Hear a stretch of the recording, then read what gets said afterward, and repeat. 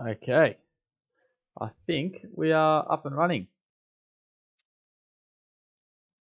You know the drill, guys. Give me a thumbs up if you can hear me. And let's swap over so you can see me as well. Good morning. Good morning, everyone. How are we all doing? Let's have a look and allow time for you guys to get in here. Let's get that. And the usual technical setups. Let's just ensure that everything's working and I've set it up all good.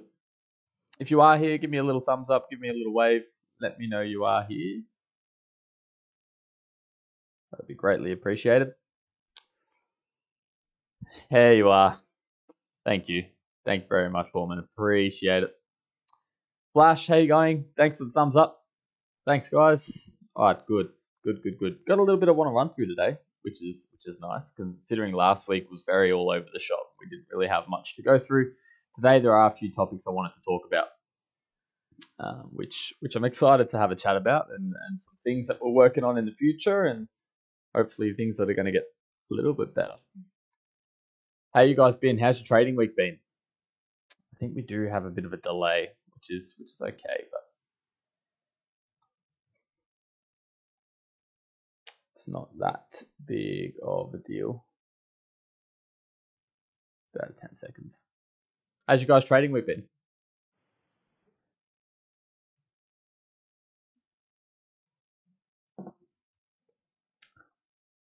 We'll sit down for a little bit longer and wait for uh, wait for the rest of the crew to come in before we, we get talking so no one misses anything and then we're going to dive into some charts. We're going to have a look at the different theories, which I've been asked to have a look at um, in the in the Discord as well, um, as well as play on the Aussie dollar coming up, which I want to share. That's correct, Diego. I live in Melbourne. I live in Melbourne, Australia. Probably tell by the uh, by the accent there, right? You took a couple after having a bit of a break. Nice, woman. How was the break? Did you find the break working all right? Was it, was it good? Flasher had a good. Awesome, awesome. Hi, Fred. Welcome, Fred. How you doing? Nice to see you. Are you from uh, Are you from Australia as well, Diego, or you just recognise the accent? Yeah, you lived in Sydney. Ah, fantastic. Yeah, lovely. Don't live don't live in Sydney anymore.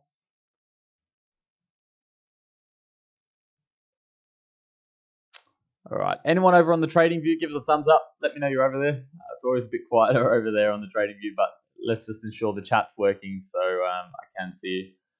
Good to have a step away from time to time. Yes, it is. It is very good. It's nice to have a breather and reset, and then come back in. You know, reanalyze why you're here trading, reanalyze what your goals are. Sometimes you need to take a step back to take a step forward. So I'm proud of you for doing that. Well done. You lived in Sydney for a while. You're from Brazil. Uh, lovely, lovely. Good to see you too, Fred. Glad you're here. I did get your emails, Fred. Um, I'll, I'll, I'll address them after my live stream. Okay, uh, I will get back to you on that. Um, I sure there's, there's nothing like what you're suspecting that has, that has happened. Um, don't worry about that, but um, I'll, I'll explain all of that for you um, at the end of the live stream for you. Okay, I'm not sure if the chat's working on TradingView or we're just quiet over there, but for argument's sake, we're just going to say that it is working and eventually someone will give me a thumbs up at some point in the near future. A couple things I wanted to run through today. Now, one of them I want to wait for, well, actually, he might already be in there because I'm not sure what his YouTube and or trading view name is. Axelrod in Discord, if you're here, can you let me know you're here? Um, whatever your, your username might be, because um, I'll wait to address your questions until you're here um, just to ensure that you get the knowledge and, and, the answers that you wanted to get. So if you are here, Axelrod in Discord, let me know, um, and then we'll run through your questions there. But if not, we'll we'll carry on with, with what I wanted to go through anyway. All right, let's dive in. Okay, first thing I wanted to discuss today was the overall market condition. Right, how how has it been looking this week? How have we been doing?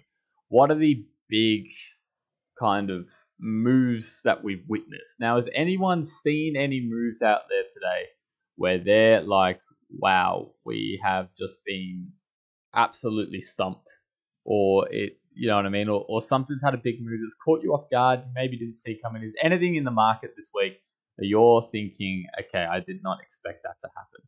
I've got two in mind. Well, not that I didn't expect it to happen, um, but I definitely didn't expect it to happen at the extent that it did.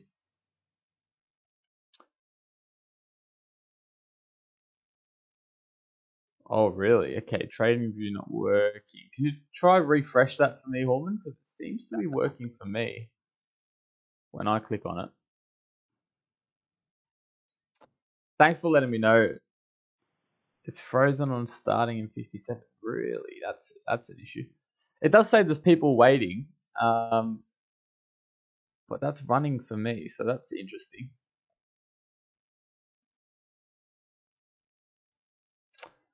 Phil Taylor, the darts player. Now, Phil Taylor, the GG volatile. Yeah, yeah, GJ. Um, yeah, well, the pound. That was mostly the pound, which is crazy considering the Japanese yen recently um, has been extremely weak and is still continuing to be. Damn, it's still frozen for you, really. Okay, that's an issue.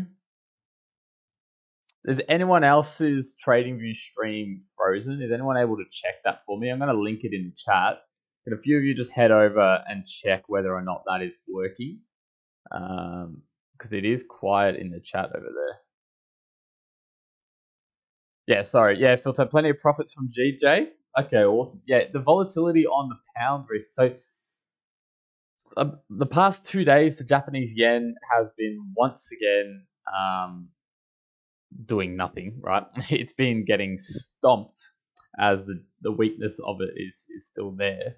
But we did have a solid short play on the Aussie dollar and on the pound. And I'm going to show you here on the daily chart. We're having a look at the Aussie dollar US dollar chart here. You can see we got stumped, right? The Aussie dollar got absolutely stumped here. Why did it get stumped? Okay. We're to start having a look at why did we get shorted, but it also happened as we look down to the um, the pound CAD chart, you can see here pound Aussie dollar is probably less of a movement, yeah, because they were both getting absolutely smacked. Um, but if you look at like pound US dollar, once again, absolutely smacked, right? So so we had a lot of powerful movements um, in these pairs over the past weak, which we predicted weakness to come through anyway. We did. We were having a look, and we were like, yeah, look, honestly, these charts are probably going to be um, week in the near future. That was a bit of an obvious one, in in my opinion, fundamentally that that was going to happen with interest rates rising, inflation becoming a solid uh, factor across the globe at the moment.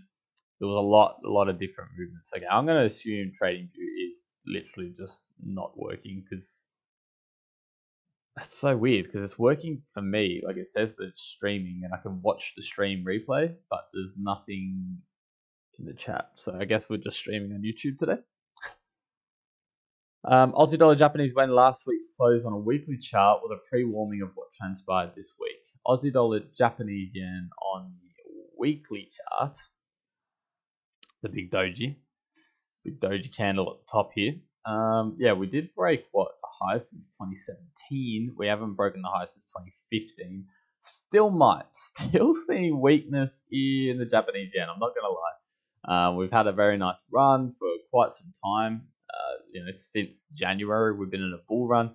Still seeing weakness in the Japanese yen. To be honest, I think this might have trapped a lot of sellers, and it does have the potential. It's a horrible arrow. It does have the potential to still move higher from here. So we'll see. We'll see how how it plays out and um, where we go from here in terms of, of that was a bit of an indication of yes, we could get a bit of shorting power, but I think most of it was down to um, the Aussie dollar you know, last week. Towards the end of last week, we had what did we have? We had ah oh, something's on top of my mind. Ah, the monetary policy meeting minutes. There you go. Um, and that kind of set the mood. It's working now. Oh, okay, fantastic. Thank you, Horn. Thank you for doing the, the research there. is it like up to date? Like working? Yeah, I don't, I don't thank you for that though. I appreciate it. Um, yeah, th- there's a lot of hints, a lot of weakness coming in the Aussie dollar with inflation rising, um, and the monetary policy. They're hinting at aggressive moves in increasing interest rates um, multiple times, not just once. Um, they're, they're, they removed patience from their, their normal meeting um, meeting minutes. So it, it's going to be interesting to see what unfolds there when it comes down to the Aussie dollar because it looks like they're getting a little bit um, hawkish, uh, not hawkish, sorry, dovish um, in terms of the economy in here in Australia. So it'll be interesting to see how that plays out. Sorry, I was getting very distracted by the whole trading view thing there that I've just kind of blathered on. Um, okay, we've got people watching. It tells me people are watching, just no one's talking, but that's okay. What I wanted to talk about while we're on the topic of the Aussie dollar is in about two hours, a little bit over two hours, we've got the Aussie dollar PPI coming out. Okay, we've got some news coming through on the Aussie dollar, and the reason I'm noting this is because I'm going to be trading it, and I'm going to share with you guys what I'm looking for and why I am trading it. Okay, so here we are. We're in the Asian session. The market's not long opened. We're going to look to get around about 11.25 where we're going to be buying a position with a very simple one-on-one risk reward ratio. Right? This is what we're going to look like in about two hours. Now, don't just blindly replicate this. I'm going to share my analysis, but please, this isn't advice. This isn't go do this. It's guaranteed to win. Um, just listen. Right? Don't recommend trading it. Just listen to what I'm saying. Right? You've got no evidence whether or not this is going to work out or not. So please don't go trade this. The reason I am looking bullish on this data release is because earlier we had the CPI, right? On Wednesday we had Aussie dollar CPI, which is the consumer price index. Now, the consumer price index is essentially the price that consumers are paying for the goods compared to the previous month or, or quarter, depending on how the release goes. Okay, so if we see a 2.1% increase, it means consumers, you and I, are paying 2.1% more for the same product or the same service than what we were the previous quarter. Okay, which obviously is a massive indication on inflation. Right? If we're paying 2.1% more, there's a good chance that inflation is going up. Now, why would we be paying 2.1% more than we were last quarter? Can anyone give me anything at all? Literally, just think of the top of your head. I go in to buy a loaf of bread. It costs me one dollar. I go in this week to buy another loaf of bread, and it's now costing me, you know, a dollar and ten cents, for example. Okay, that math doesn't add up, but don't worry, I'm just throwing it out there. Why all of a sudden has it cost me more? Okay, what what has to happen in that line for all of a sudden I have to pay more for that loaf of bread? Who makes that decision? What's gone on? Can anyone tell me that? Can anyone answer why the consumers, us, are paying more for the same thing, the same service, the same product a quarter later? It's a, it's a, it's a very basic answer, the one I'm looking for. Okay, so if you're thinking, well, this, the, um, write it because you're probably right. Okay, I'll give it a little moment to see if anyone can come up with an answer. Why are we paying more for the same thing? Can anyone riddle me that? And this is just simple economics. Okay, this is just sim- well, just everyday life. This is something we need to understand with everyday life. More money printed. Okay, you're thinking very outside the box there. Um, kind of not not not the avenue I'm looking looking for. Um, but I see I see where you're going. The price of oil has gone up. Yeah, but was the price of oil going to affect how much I pay for a loaf of bread?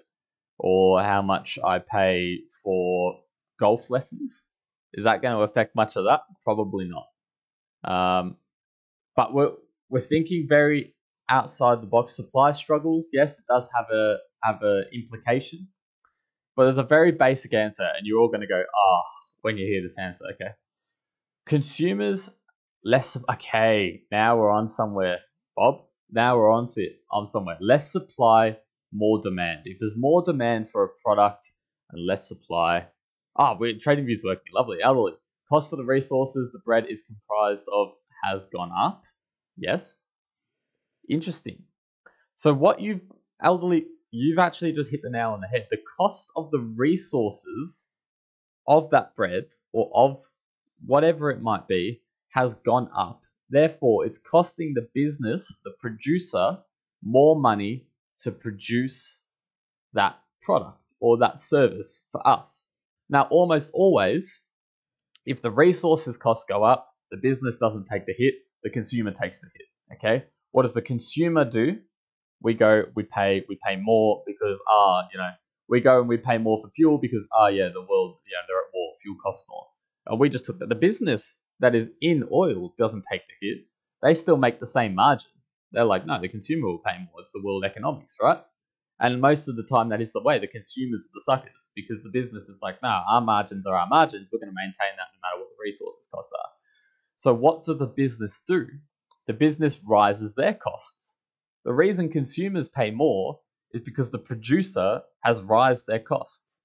Whatever they want to use as justification for doing that, whether there are, you know, the cost of resources has gone up, maybe they need more money, whatever it might be, right? The producer has raised their costs, and that's why the consumer's paying more. Well, economically in Australia, we've just been told that the consumers are paying 2.1% more, right? So, what does that mean? If we just think how we just thought, well, the producers have raised their costs, right? Well, guess what?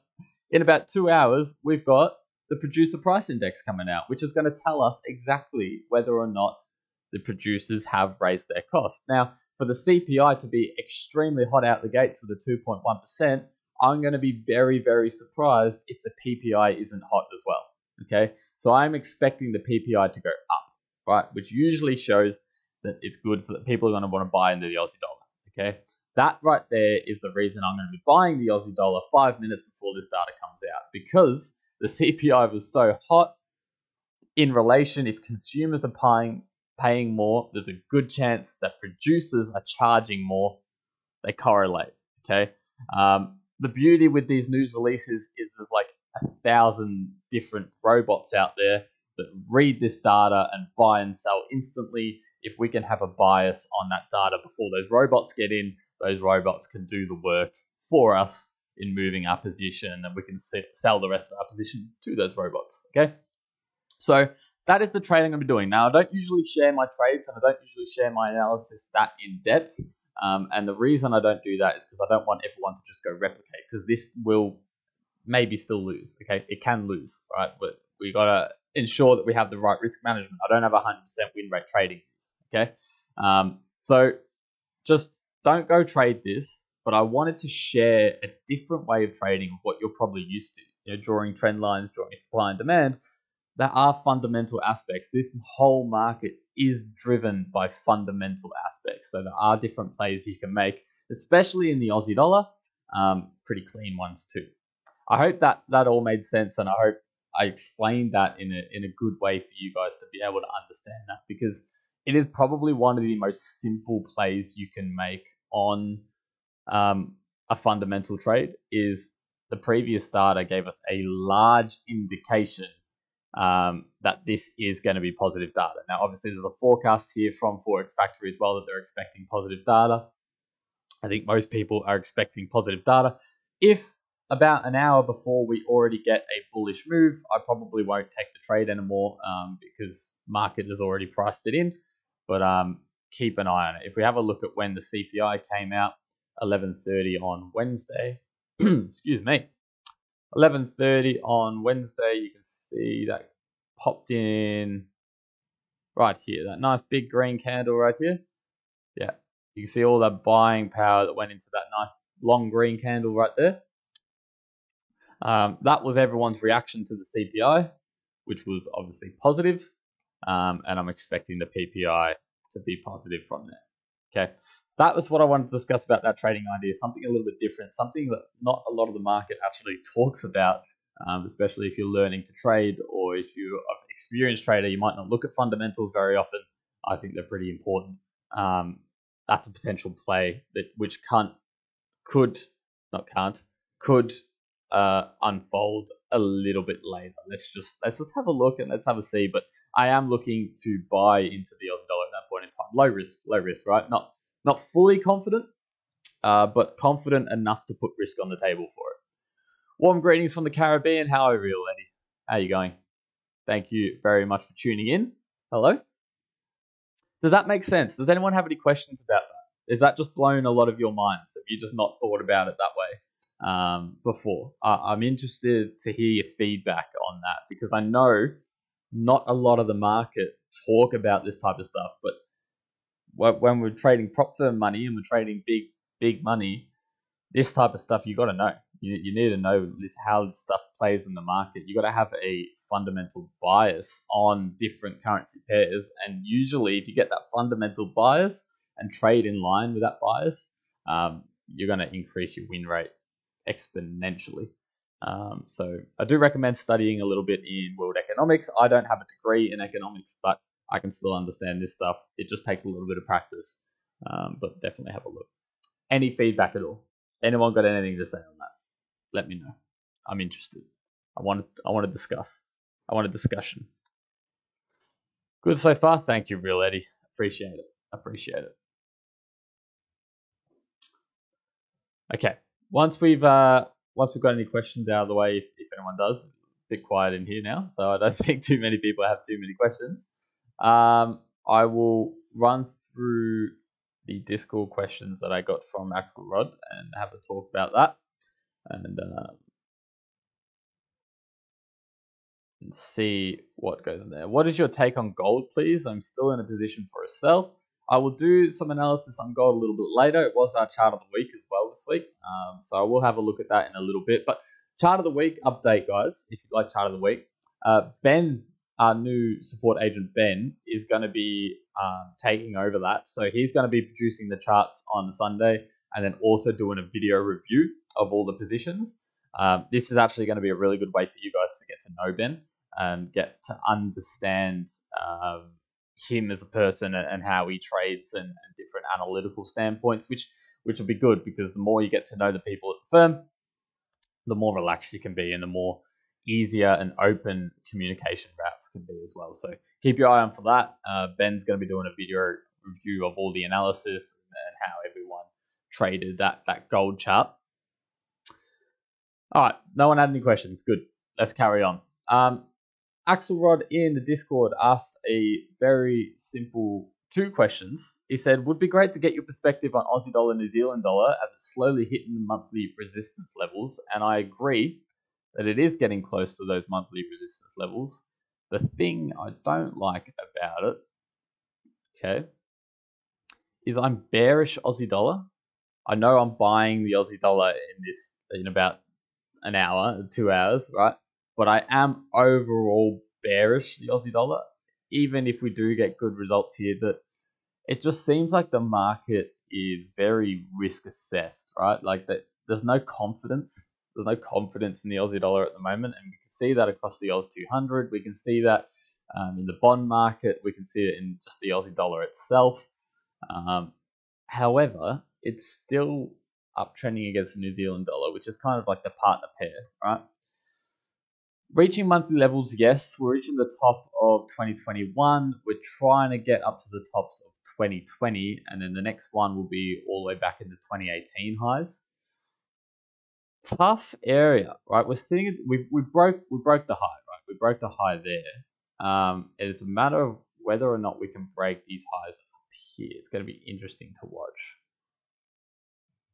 Wasn't there going to be a new channel or something for the chart of the week, people? Yeah, yeah, we're going to um, yeah, we're, we're working on that on on how we're going to um manufacture manufacture that. But yeah, don't worry, that that's coming. Ben's Ben's working on that now. Um, so we broke those recent highs in Aussie New Zealand dollar, and we're trying to get up to these. I just I don't like it because I'm I'm bearish Aussie dollar, right? I just said that.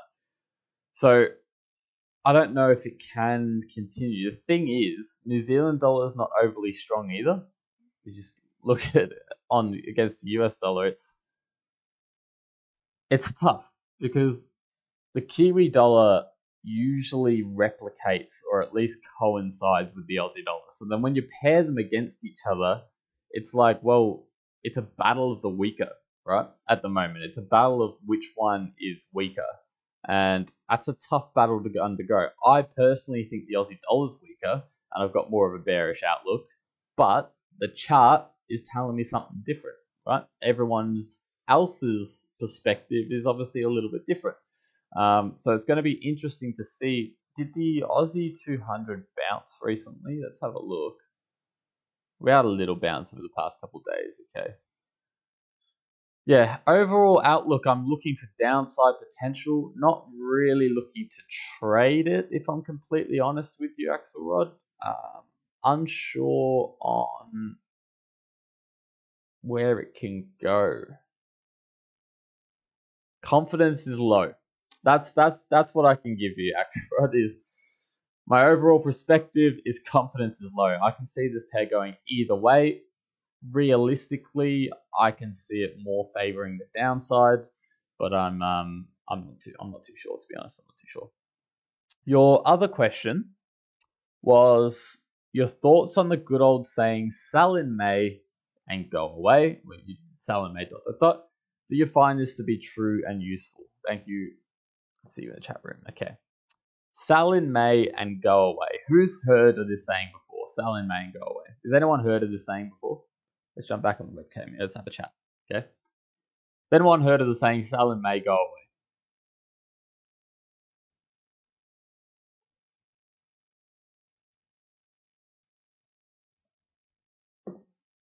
We've been very interactive today, and I think it's important that we do be interactive. I think if you're interactive, you're more in tune and you can listen you can listen a little bit more.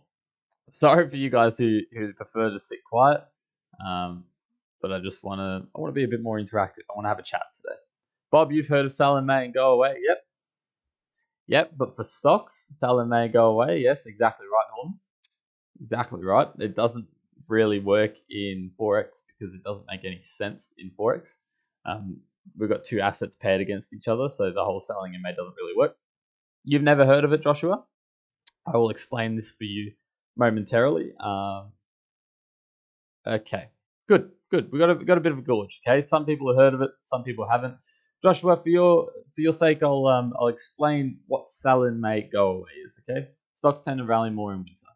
Exactly. So the reason people the old saying is sell in May and go away is referring to the stock market. Okay, it's summer holidays are coming up in the US, in Europe, most people go on holiday, they leave, you know, the big firms kind of break up for a couple of weeks, the, kids are off school for six weeks, everyone goes on holiday, there's not as much volatility, therefore there's not as much buying power in the the winter, uh, their summer months, my winter, uh, their summer months, right?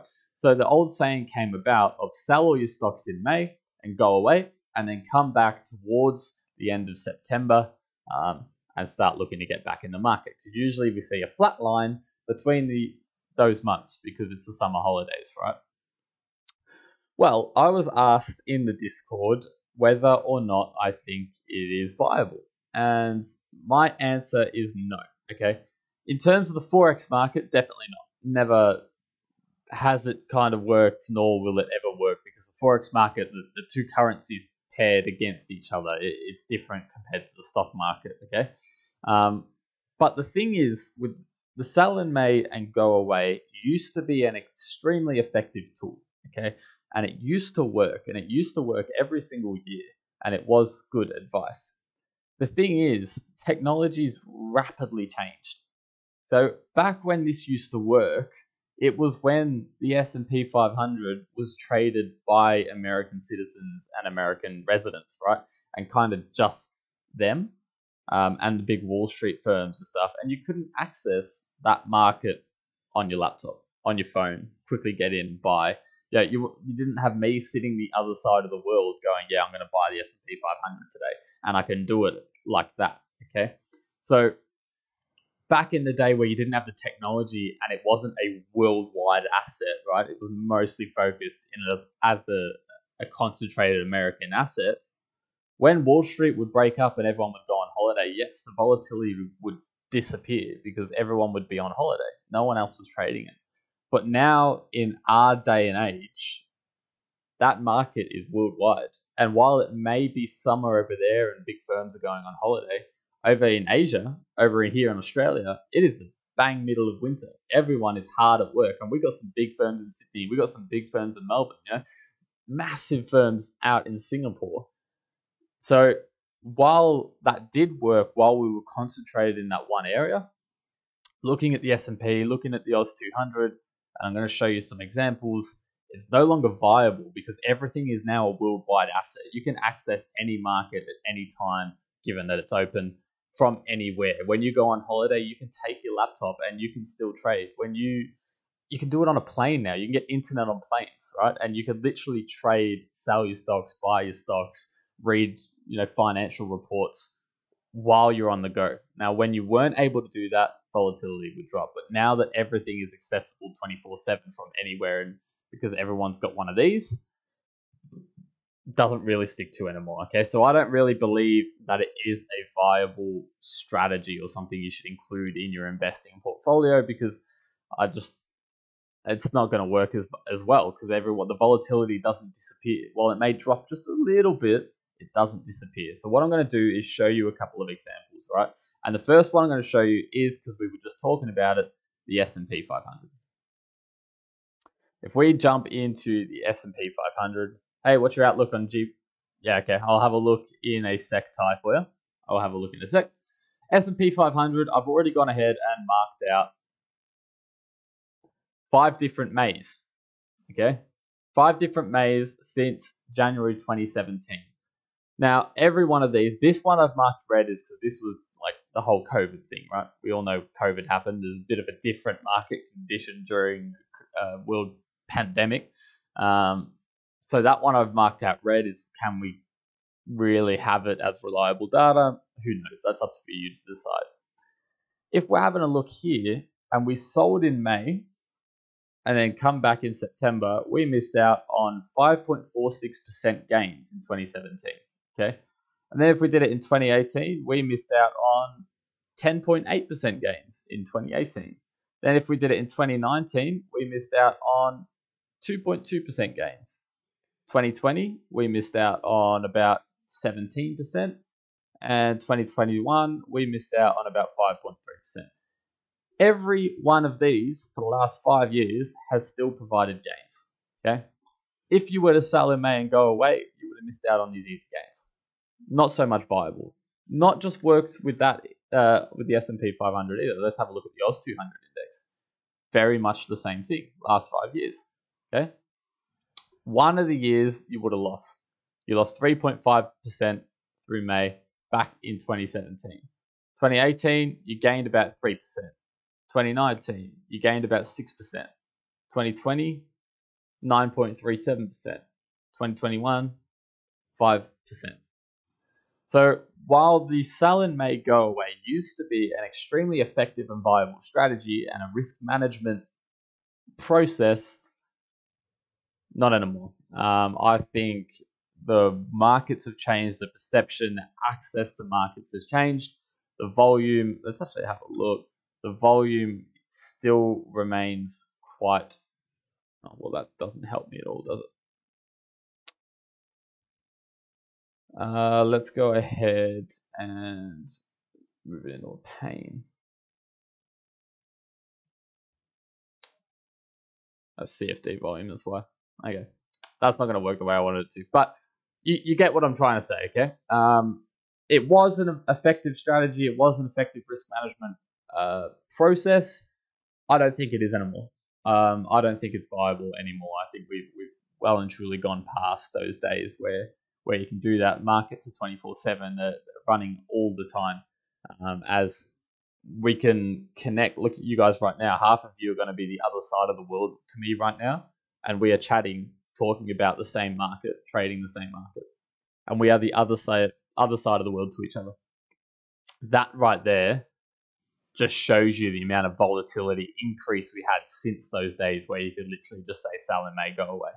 Um, that right there is powerful in, in its own. When Europe goes on vacation in August, the forex market dies a bit. Um, yeah, I, I I don't know it depends on economic release and depends on the pair you're trading. Okay, European pairs might die a little bit, but if you're looking at like Japanese yen pairs and stuff, I'm not sure you're going to see a, an overall slowdown. Yeah. When I'm practicing my risk management, I take note of the percentage change with the position tool, the percentage increase, even though the pips remain as price increase with currency value. I either read that.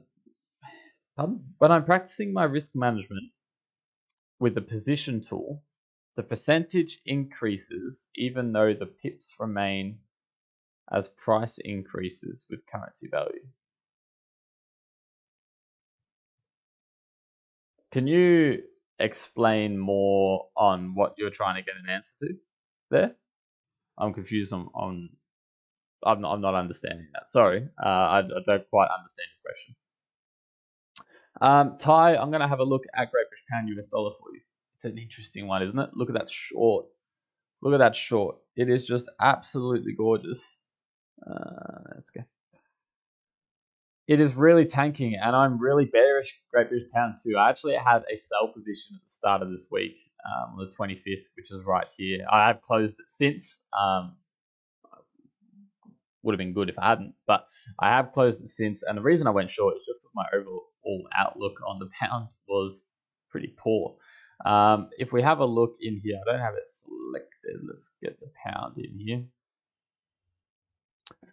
We're probably going to see an increase in interest rates around the board as well. The public sector net borrowing went up quite a fair bit. Um, wow, that massively missed. Yeah, overall, I'm just not not confident in what the pound can do. You're currently short on it, but I think if I should close or let it run. Interesting. Interesting, because you got me interested now to find out why you're in a short if you don't know where to get out. Okay? And this is a this is an interesting topic because it depends on, on how you trade, okay? Now, I always have with every investment you ever do, always have an exit plan. Before you go in, always have an exit plan because you'll notice that while you're in the trade, perceptions of markets can change. Different things can happen, different things can make you move your stop loss, they can make you move your take profit and not take profits, just let it run. You know, all these different things can make assess and to the point you are now trading your P&L. You're not trading the market, you're trading your P&L that right there is interesting in a fact of okay, why am I now trading P&L? Well, trading P&L is actually an extremely bad thing to do because it's trading off emotions, trading off when you're satisfied. And the more and more that goes into profits, the more uptight you're going to become going, oh, I should probably take profit, I should probably take profit, I should probably take profit. And bang, all of a sudden, you missed out on taking a load of profit. So, first things first, before I address anything else, I'm not yelling at you. I'm just um, discussing with you. That's something I've learned. Is always have an exit plan. Whether you're investing long term in stocks, whether you're investing in the S&P 500, whether you're in a five minute trade, whether you're in a daily chart trade, whatever it might be, always have an exit plan. Now, that you could have multiple exit plans, right? You could have, okay, if we start rallying really quick, we're going to let it run a little bit, but we're going to trail it with this, okay? Um, if it's really slow, we're going to reduce our risk, take off half the position. Have multiple exit plans, but for every scenario. And if you do that, then you'll never be sitting here kind of being like, oh, should I close it? Should I let it run? What should I do? Because you'll have the plan. All right. And once you're in, you can plan for every scenario and, and then react to that in accordance. So very similar to a business risk management plan. Okay. You identify the risk, you identify what you're going to do if that risk occurs, when that risk occurs, you know exactly what to do. You don't have to worry about your emotion taking over. Okay, you've got your step to step plan. That's what I recommend doing, first of all. Secondly, in terms of looking at this and saying whether or not you should let it run, it's an extremely tough question because it's moved a lot. It's moved a lot, a lot. As mentioned, to check the monthly chart, it's going to bounce a bit. We're a little bit low, um, a little bit we need to get a little bit lower before we get down here. And obviously, we're on the monthly chart, so getting down here is still another 400 pips. Um, a 400 or 40?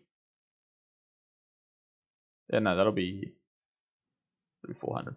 Um, so keep an eye. Yeah, it's a tough one. I, I don't have any advice, to be honest. I, I, I don't know. It depends on where you got in and what you're looking to achieve. Yeah, depends on where you got in and what you're looking to achieve, really. But um, if you don't have an exit plan, find one, make one, 100%. Uh, okay, in December 2021, I backtested UJ and 0.04% was my average stop loss over 40 trades. But now I backtest today and it's gone up to 0.1% when backtesting this month's data. Is this because ADR has gone up? Well, has your stop loss moved? Has your yeah has, has your I'm, I'm confused. Have you moved your stop loss? Is your stop loss now a different distance than what it was back in 2021 compared to now? What do you use to gauge a stop loss? Like um, I, I think I understand what you're trying to ask, but I can't formulate a question because I feel like the answer's in the question because I don't have all the information to answer the question. So apologies for the back and forth, but I, I, I think I know what you're getting at, but I don't know how to answer it because I don't have all the data to answer your question, right? Because it's very personal to you. Um, so in 2021, you were back testing and you had a stop loss of whatever it was, and it was 0.04%. You had small. No, no, no, that's okay. Uh, it's, you've not confused me. I, am just like, just, do you base your stop loss off, off of ADR? If you base your stop loss off ADR, then yes, it's going to be very different um, trading it because we've obviously had increased volatility, and then your stop loss percentage will be different because your ADR's gotten bigger. That makes sense. Um, someone asked before if I can have a look at my take on gold. Real Eddie, let's have a look.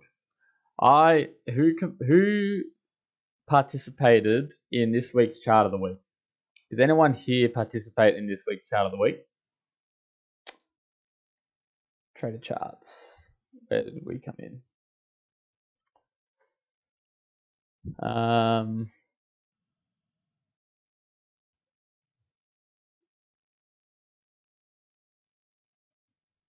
very mixed. A lot of people looking for shorts, a lot of people looking for shorts, some people looking for buys, some real in-depth analysis.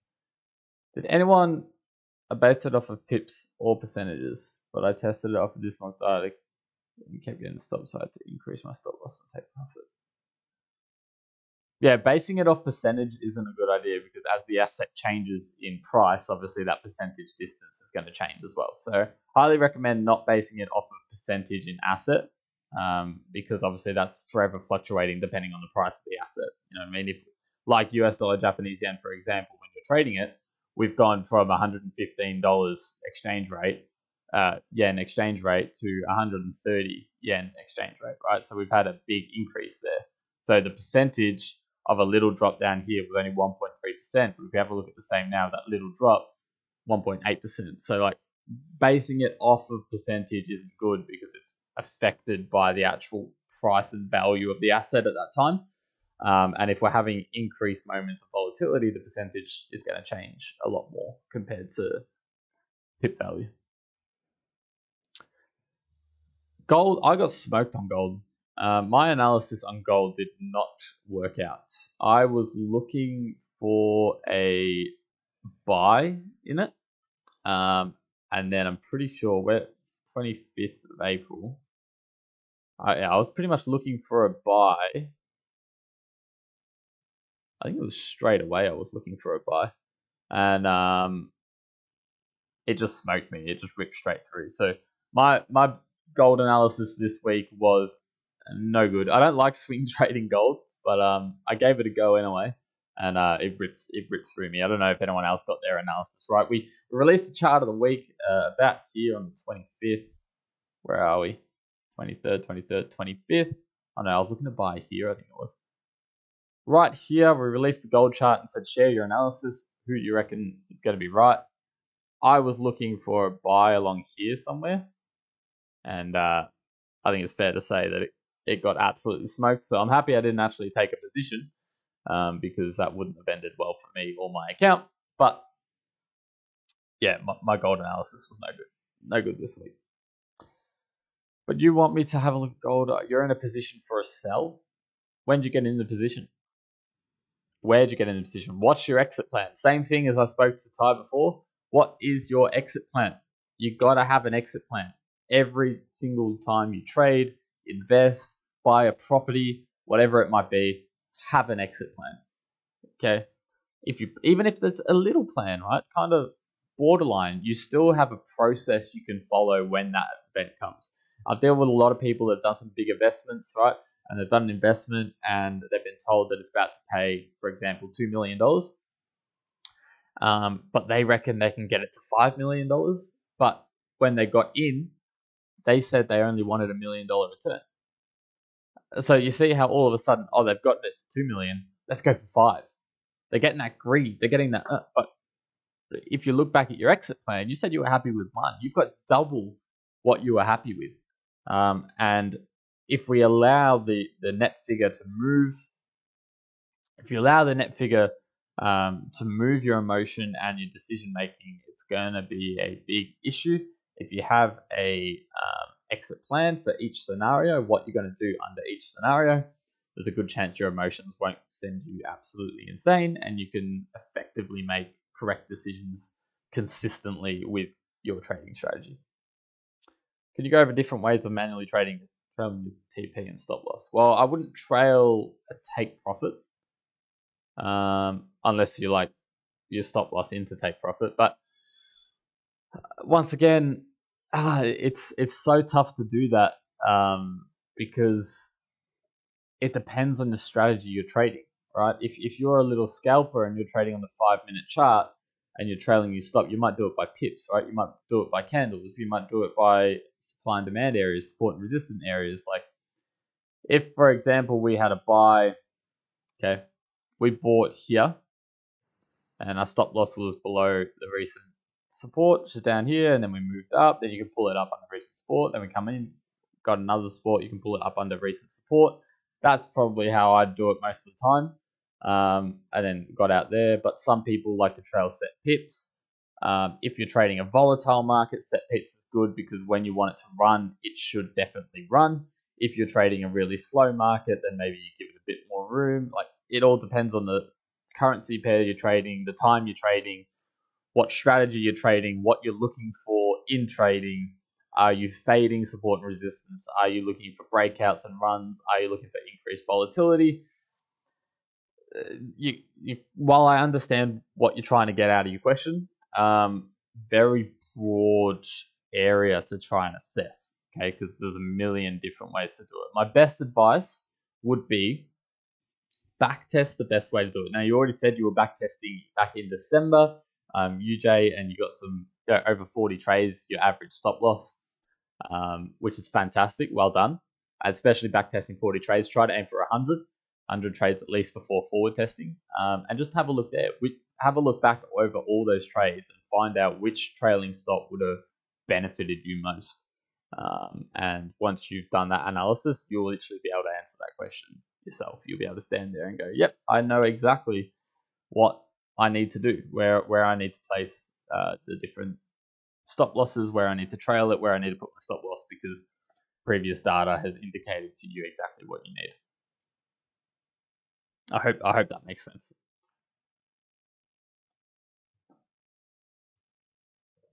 Okay. As a whole, that's pretty much majority of what I wanted to run through. I'll just check on the Yeah. Does anyone have any questions um, or you know analysis they want to run through, they want to share maybe? anything that leveled up my risk management system? Ooh, great question. Uh, leveled up risk management was a couple different things. There's a couple different things. That's a that's a deep question. I like it. Thank you for asking that. That's that's a good good question. Um, emotional plays, understanding your emotion in trading and understanding why your emotions tell you different things massively increase my risk management.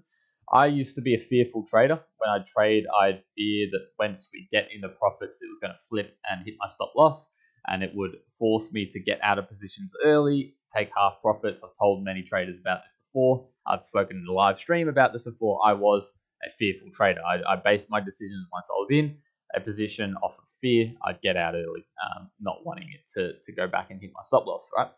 Um, addressing where that fear was coming from, that fear of failure, and understanding every time I felt that feeling, so then I could not ignore it, but I could listen to it, understand what it's trying to tell me, and then base a decision based off of that.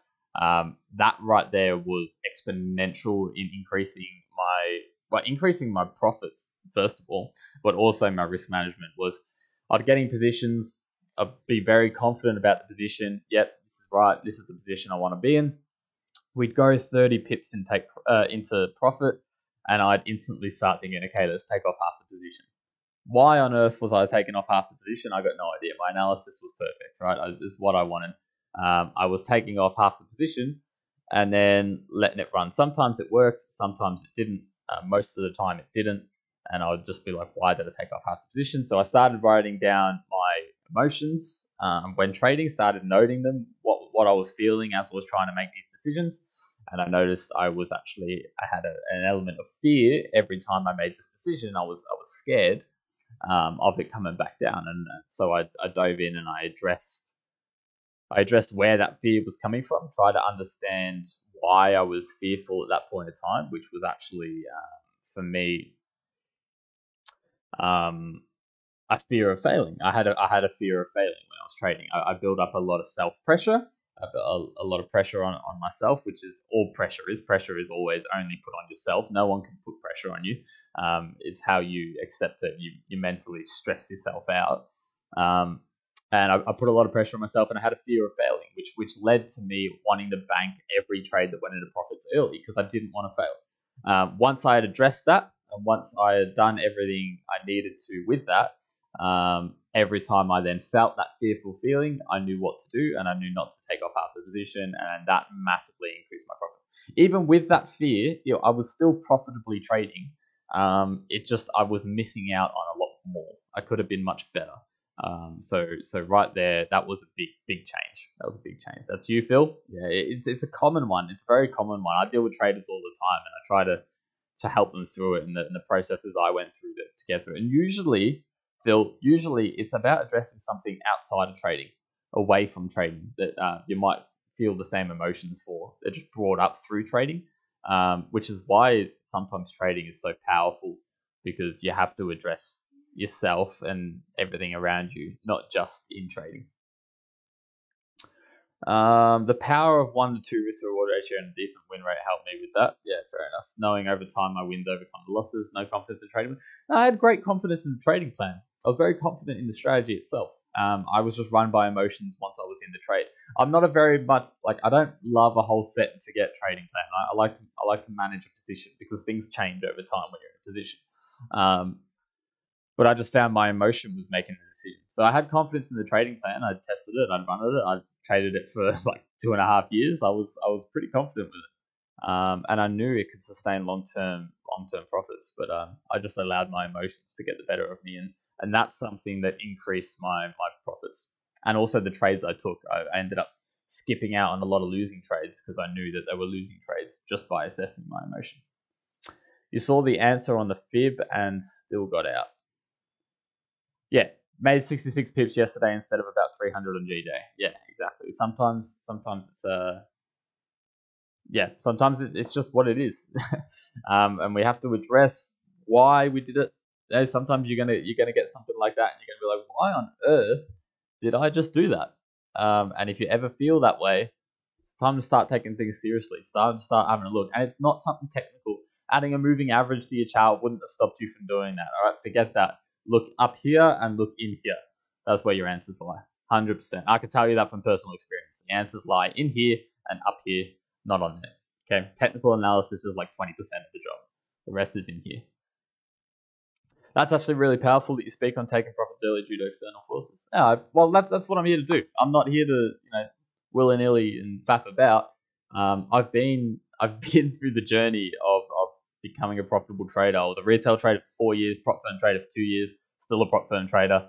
Um, it is not an easy gig, but I can share my experience. I can share um, everything I've been through to, you know, help you as much as possible and, and do as much as I can to, to help you guys progress. And that, that's what I'm trying to do.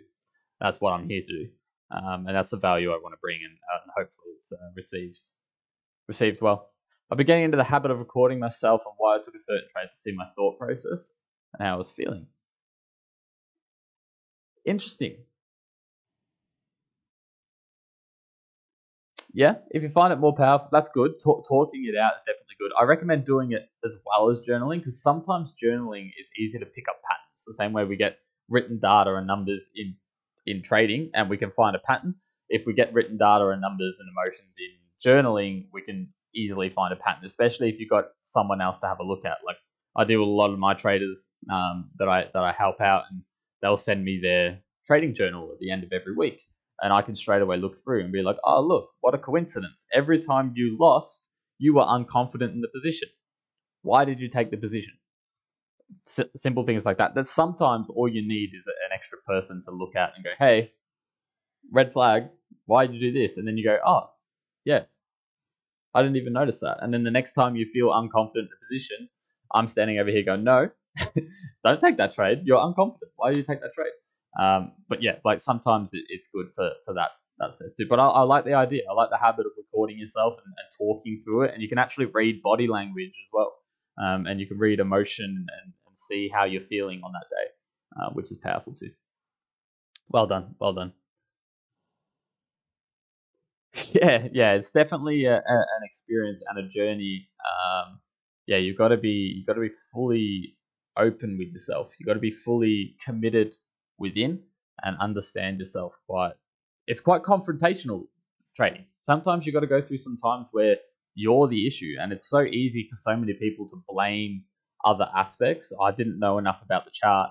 Oh, the strategy is shit. Oh, you know, um, of course, Russia started a war as soon as I buy in a position, and that's the reason I've lost.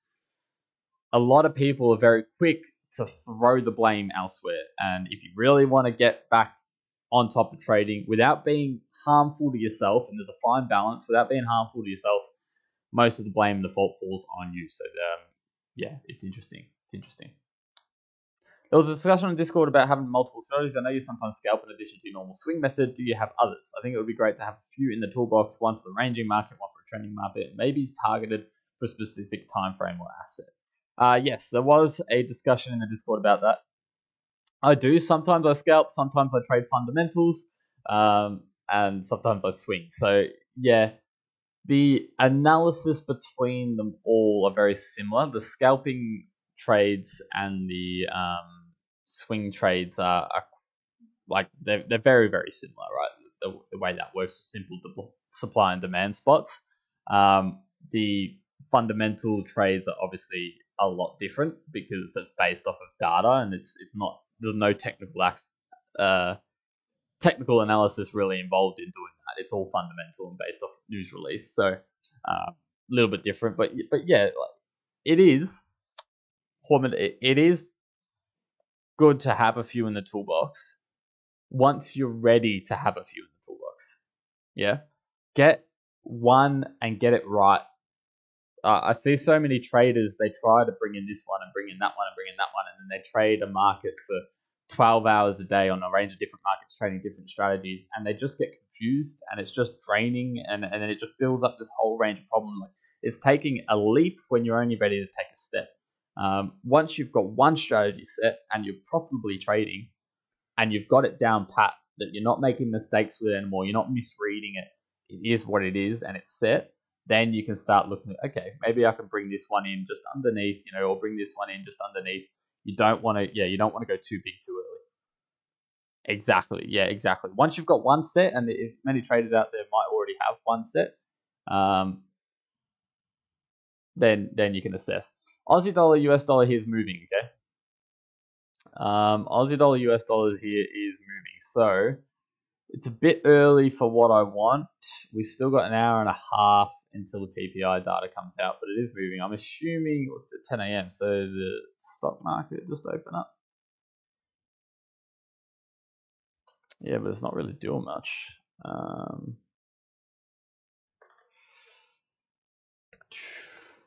sorry, guys. I'll get back to you in a moment.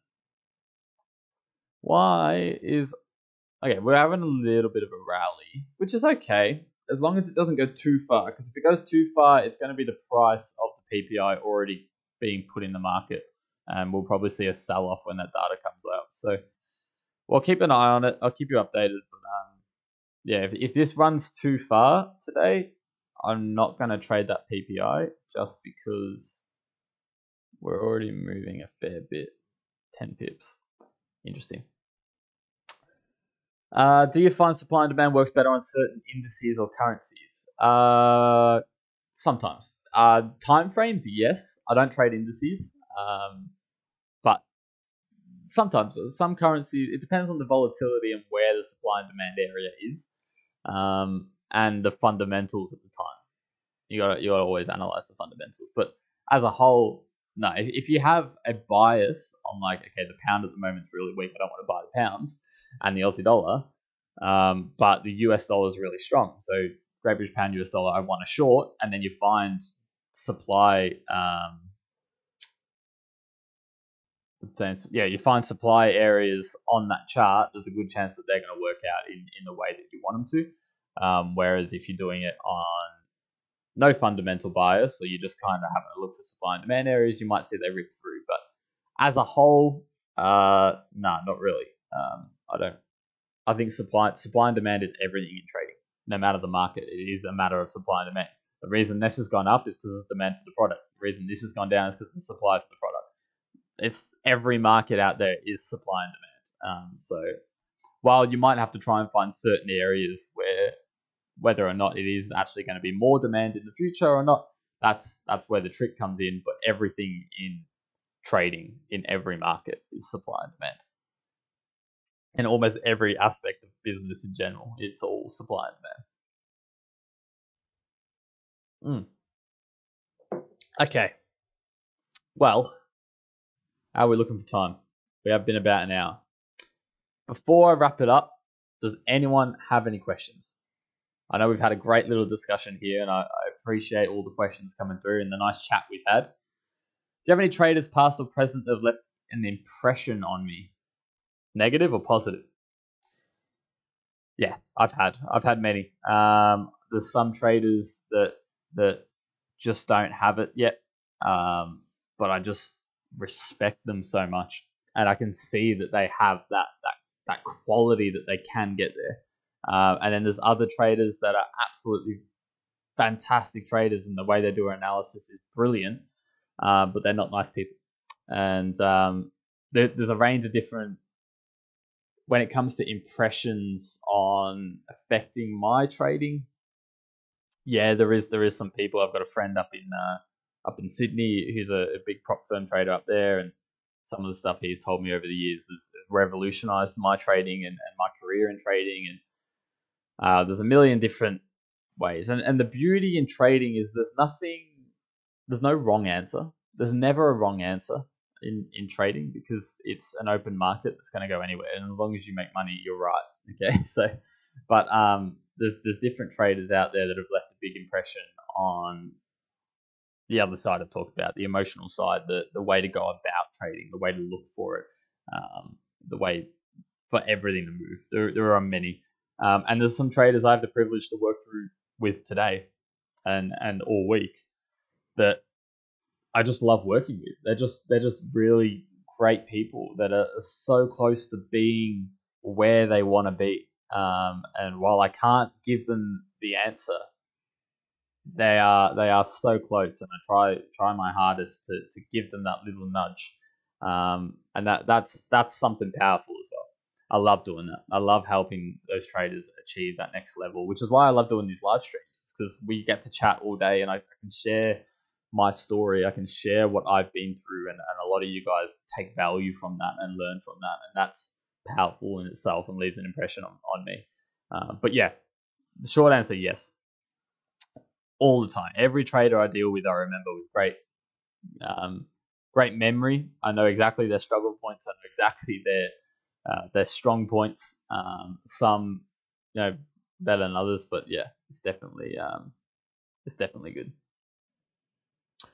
You're awesome, Jordon. You're definitely leaving an impact in the world of trading. Many blessings to you, brother. So happy I got to catch you in this live. Thank you very much. That's very, and it's nice to chat to you today.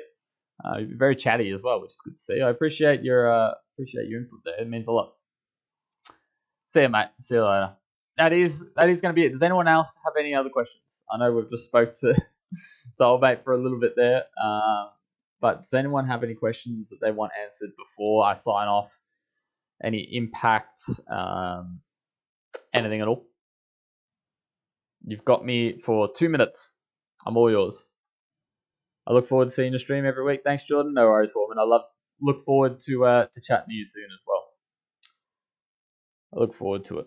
I always do. I always do. Thank you, Fred. No problem. Thanks for joining. Appreciate you. Uh, appreciate you being in. I appreciate you all. I know some of you are quite quiet and you like to just sit back and, and watch, and I do appreciate you guys still being here. I hope you take value from these sessions. I'm going to be changing things up in the future. I'm going to be doing a few different little things. Um, if we can find, it's, it's tough because of the timing we do it, but if we can find an area in where we can literally trade for an hour, it might be extremely risky because obviously I don't it won't really coincide with any strategy I have. But if we can find somewhere we can do some live trading, that might be on in the future as well. That could be could be good fun. Um, I'm exploring. I'm exploring different ways. The thing is, most of the data and stuff comes out later, and it's tough to, to coincide into one hour. But we'll figure it out. I think. Keep an eye on Aussie dollar, US dollar. Still expecting very positive news for the PPI. Don't like the way this is moving early. It's probably people getting in early because they're also expecting positive news for the PPI. Uh, but keep an eye on it, and we'll see we'll see how it unfolds. As always, guys, have a fantastic trading week. Over this weekend, do me a favor, get away from the charts, go spend some time with your family, go spend some time with your friends. Come back refreshed on Monday and or Sunday night, depending on where you are in the world, and attack the markets with clarity. Okay. Have an absolute fantastic weekend. Have a great rest of the trading week. And as always, I'll see you next time. Thanks, guys.